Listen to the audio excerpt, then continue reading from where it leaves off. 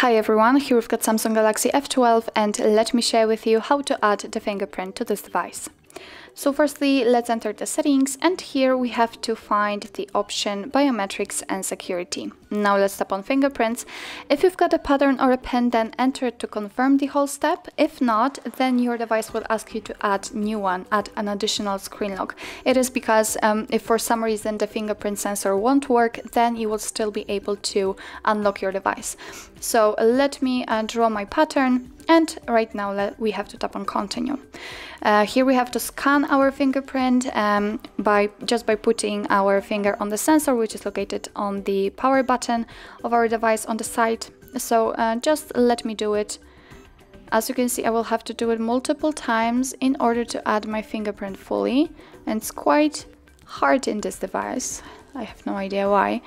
Just take your time and try to catch almost everything all of the edges of it. Of course, for better recognition. As you can see, it's not really easy.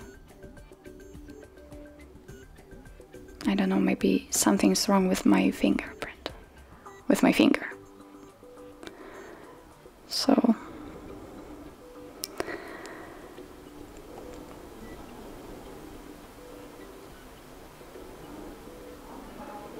It is quite annoying because I'm changing the position and the device still is telling me to do that. Okay, almost, just 5%, come on, okay. We just added fingerprint uh, to this device, so we can add another if you want to. If not, just tap on done. And as you can see, this is the fingerprint we just added. After tapping on it, we can rename it, which is quite a cool option, or remove it if you want to. But let me rename it and tap on save. As you can see, it changes immediately. Uh, it is quite useful if you will use the uh, check added fingerprints option. It, it is, let's say, a test. And after, um, if you will have plenty of fingerprints added, then you can tap on it uh, put the finger on the sensor and then your device will tell you what uh, which um, fingerprint it is so that's quite cool. Uh, obviously, as I said, you can add the fingerprint. Here you can decide for what you want to use the fingerprint for, so you can use it for fingerprint unlock or fingerprint always on. So just, you know, just set it like you want to, just customize it. Here you've got also the options to use it to sign into the websites or use with um, Samsung account.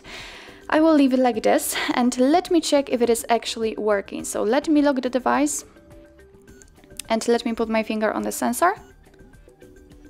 And as you can see, the device is unblocked, so which means that uh, we just successfully added our fingerprint to it. So actually, this is it. This is how to add the fingerprint to your Samsung Galaxy F12. Thank you so much for watching. I hope that this video was helpful, and if it was, please hit the subscribe button and leave the thumbs up.